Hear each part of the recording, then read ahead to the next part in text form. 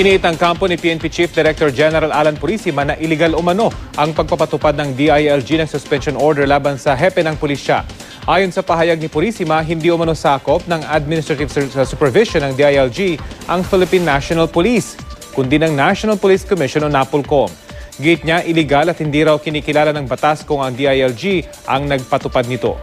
Gayunman, tumanggi muna magkomento ang kampo ni Purisima kaugnay sa kaso, lalo't may nakabinbin umano silang apela sa Court of Appeals. Ayon naman kay DILG Secretary Mar Rojas, ginagawa lang daw nilang utos sa kanila ng ombudsman. Idiretso na lang daw sa ombudsman kung may apela rito si Purisima.